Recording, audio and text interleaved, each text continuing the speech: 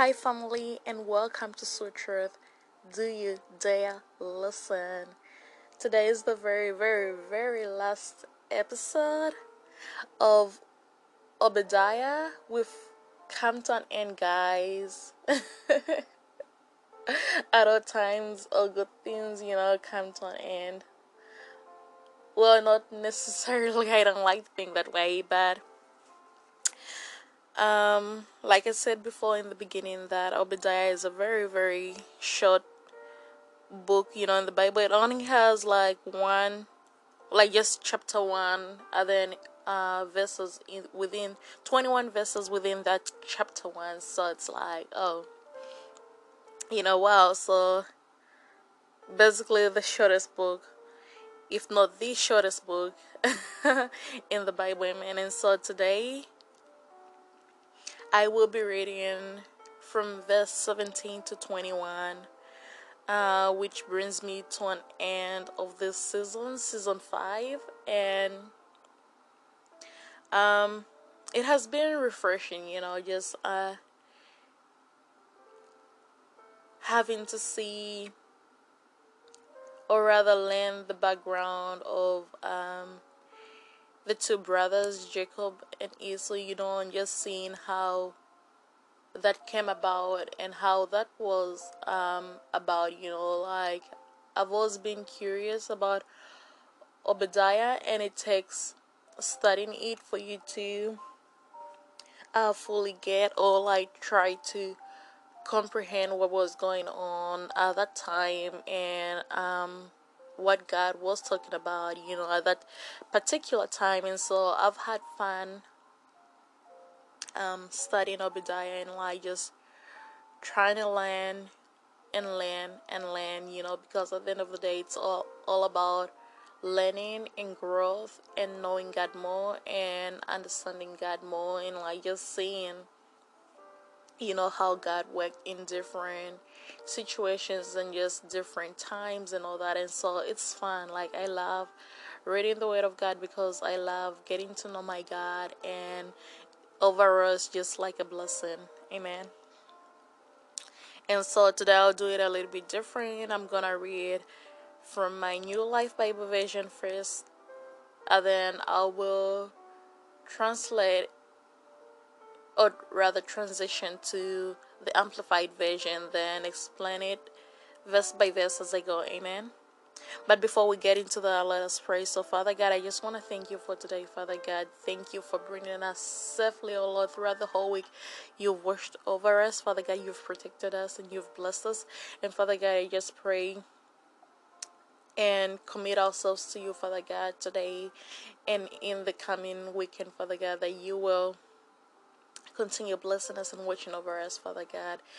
Thank you for Obadiah, Father God. Thank you for your wisdom and perspective, oh Lord, on the book, Father God, and everything that you've taught us, Father God. And yes, I'm grateful to have learned a different side of you, God. And so I am just so, so thankful for the book, Father God. And I'm thankful for you bringing us all the way to the end oh Lord, of the chapter, Father God. And so, thank you for your grace, Father, your mercy, your forgiveness, and your goodness.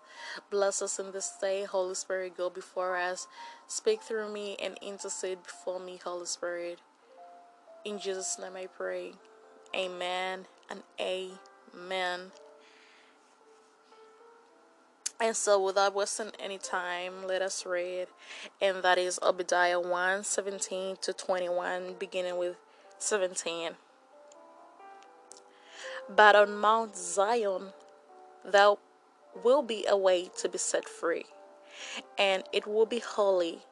The people of Jacob will own what belongs to them. Amen.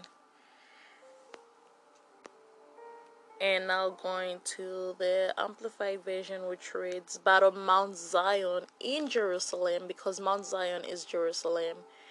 There shall be deliverance for those who escape and it will be holy. No pagan will defile it and the house of jacob shall possess their former possessions. And then so stopping right there basically by now we know that Mount Zion, you know, means Israel. So in this verse, Mount Zion is Israel.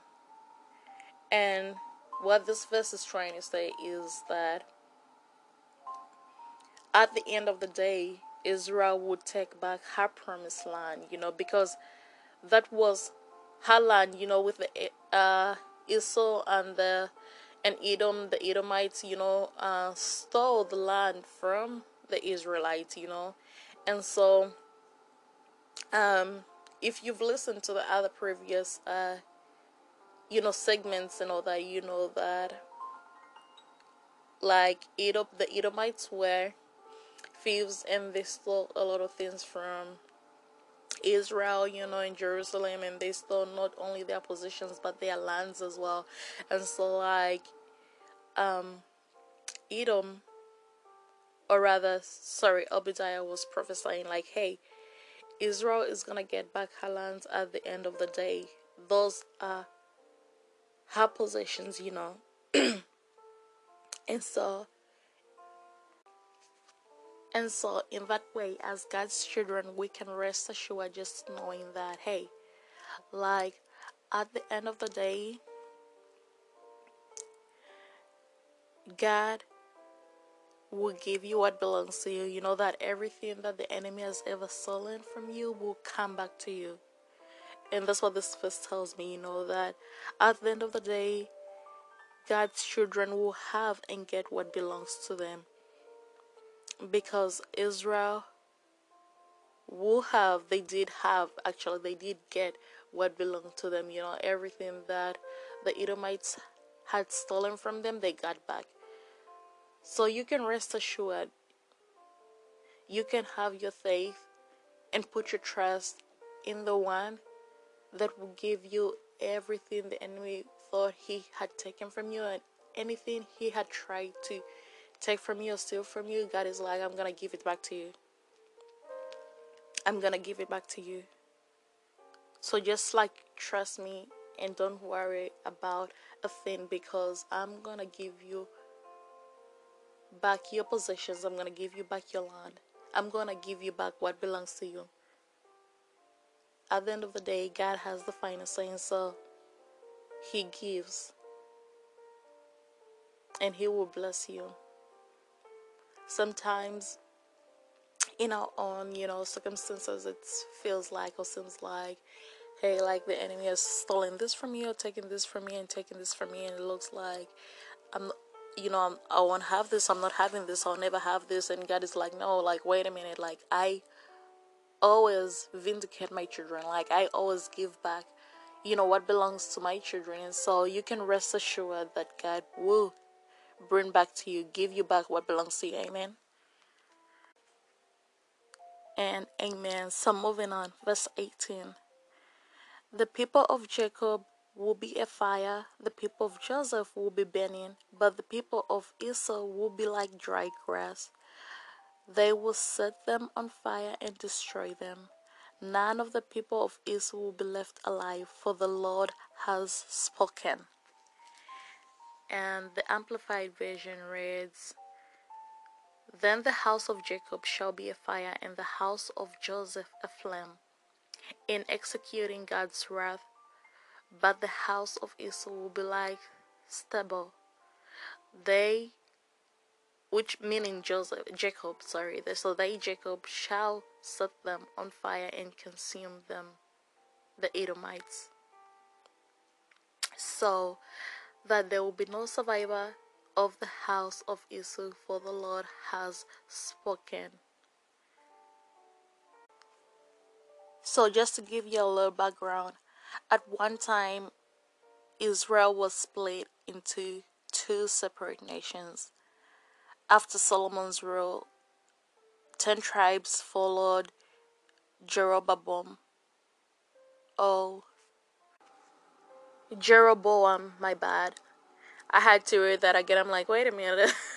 like, that doesn't sound right. So, Jeroboam, or Jeroboam, if you will, was a king, and so he took the ten tribes of Israel with him, and they became known as the northern kingdom, which is also known as Ephraim. And the other two tribes became the southern kingdom, also known as Judea or Judah. And so, what verse 18 speaks on is the houses of redemption being, or rather, becoming a unification. And so, um, Ephraim and Judah both the northern kingdom and the southern kingdom, you know, are gonna come together, come in unity, and we'll be unified, and you know, we'll have their redemption because they split up after Solomon's rule. Um, and I don't even know why they did that, like, uh, because altogether, like the 12 tribes of Israel, you know, I thought like rather they were supposed to be together like all the same, but I'm just learning now, you know, in Obadiah that they did split split up, but that they were gonna come together, and the total destruction of Edom, you know, was gonna take place, and also if you didn't know, like I I said this earlier as well too, like Jacob and Esau were brothers and so, just to give you a little background on that, Jacob's children became Israel, and Esau's children became Edom. And so, also, that kind of falls in into the whole separation thing as well, too.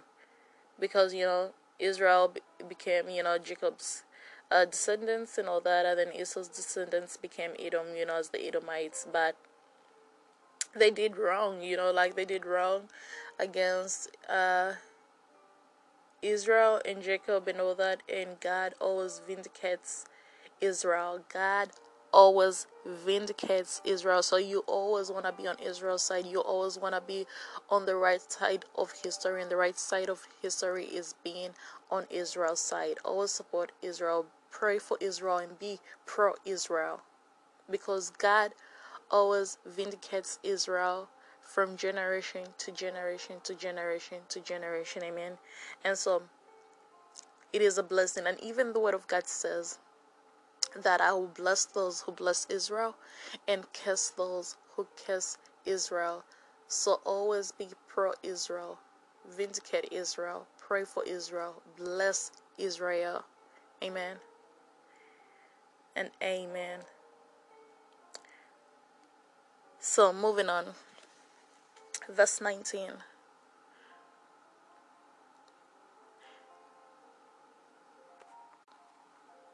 Reads So, um, the people of the Negev, which means south or dry, will live on Mount Esau, and those in the lower land will live in the land of the Philistines. They will live in the land of Ephraim and Samaria, and Benjamin will on Gilead. And the Amplified Version reads that Then those of the Negev shall possess the mountain of Esau, and those of the Shephelah shall possess the Philistine plain. Also, they shall possess the fields of Ephraim and the fields of Samaria, and Benjamin will possess Gilead, which is across the Jordan River. So,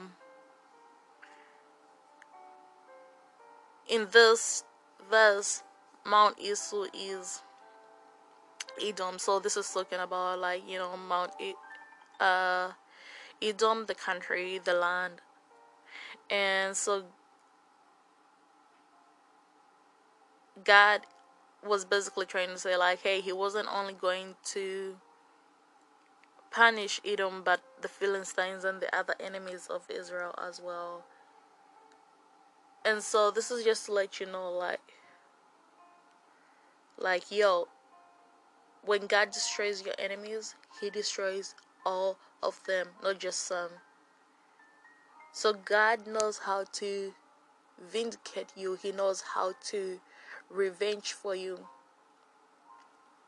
So many unfair things happen to you, you know, just about everyone and anyone anywhere. And uh, the majority feel like, hey, they should like get revenge for themselves and stuff like that, and you know just try to do things their own way or their own way, and God is like, no, like wait a minute, you know, like throughout and throughout in history and even in the Word of God, you know, it is known that God always avenges, you know, like his children. Like I said before in the beginning, you know, of this segment, that hey, God will always vindicate you, you know, he's always gonna give you twice and get back what belongs to you. He's always gonna give you what belongs to you, and that means fighting your battles as well and like just at the end of the day like just giving you you know uh your victory and so you don't have to get any kind of like revenge or anything against those that wrong you or anything you're like just trust god like your job is to just like trust god and continue like believing in god. And he will fight your battles for you he will do your revenge for you and he will vindicate you. And when god when god is the one revenging for you he's not only like just gonna get some or like just stick on some or like just a few like he's gonna get all of them you know like everybody everybody you know gotta go everybody gotta go. So that what verse 19 is trying to say like hey it was gonna be like the Philistines, you know, all the enemies of Israel, you know, that uh, over the years just like oppressed Israel and like just they stole from them and they they did all sorts of things. And like I said, like God always vindicates Israel, you know, and so these people had what was coming to them then and this is even for like you know future generations to come basically like anyone who wrongs Israel, like God is gonna vindicate Israel and is always gonna come for them. So you don't wanna be, you know, the one that wrongs Israel. Amen. And verse 20 and 21 reads The people of Israel who are living among the Canaanites as far as Zarephath and the people of Jerusalem who are in Shepai will own the cities of the the cities of Negev, and the men of Jerusalem who fight and win the battle will go up to Mount Zion to rule over Mount Esau, and the nation will belong to the Lord. Amen and amen and amen. And that is the whole chapter. But to end this, before I end this, let me go ahead and read the amplified versions. Amplified version, which reads, "And the exiles of those hosts of the sons, descendants of Israel, who are among the Canaanites, as far as Zarephath, and the exiles of Jerusalem, who are in Shepherd, Shepherd shall possess the cities of the Nagva or Nishva. The deliverers shall go up on Mount Zion to rule and judge the mountain of Israel and the kingdom, and the kingship shall be the Lord's. Amen. And so, at the end of the day, verse 20, like Israel gets all the cities, you know, like all the cities, you know, the one, all the ones that belong to, that belong to uh, the Edomites, that belong to the Philistines and everything, you know, like all the enemies of Israel, like Israel gets all that, and that is just the vindication of the Lord, you know, and like justice being saved for Israel, and basically, like I was reading a reference that said like this wasn't only like for back then, but then like just basically saying that it's for even in future generations, you know, like till the end of time. Till the end of time, Israel will continue getting what belongs to her, and all the lands that belong to her will all go back to her, her promised land, because all these lands, the Philistines and the Edomites, like every land that they had tried to steal or did steal, like basically Israel is gonna get it back. And verse 21 Mount Zion is a metaphor for the city of Jerusalem.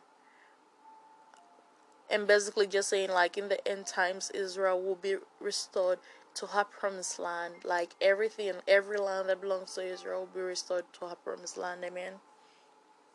And so, there it is, y'all. Like, the whole chapter. The whole chapter 1, and it is only chapter 1 of the book of Obadiah. Amen. And so, like, yo, I hope y'all have been blessed by this very short season. I know it was a short season, but nonetheless, it's been a it's been a blessing, and like, I, I hope you've learned as much as I have learned from this season. I mean, and so, with that being said, if you are willing to turn away from your old ways, your own old sinful ways and you know you're just tired of living that way living that kind of life and you're just like you know what sweet truth? Like i want to start living you know a life that i know i should be living you know called to god and like i just want to trust god.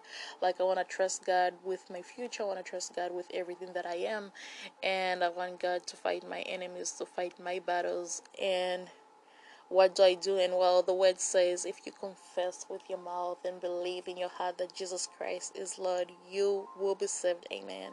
And so just repeat after me Dear God, I know I am a sinner.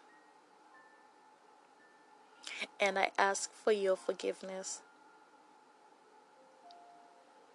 I believe Jesus Christ is your Son and I believe that He died for my sins and that you raised Him to life. I want to trust Him as my Savior and follow Him as Lord. From this day forward, guide my life and help me to do your will. I pray this in the name of Jesus. Amen and amen and amen. And the angels rejoice. And God says, Welcome, my son, my daughter. And you'll just get ready to experience the blessings and mercy and goodness and the will of God. Amen.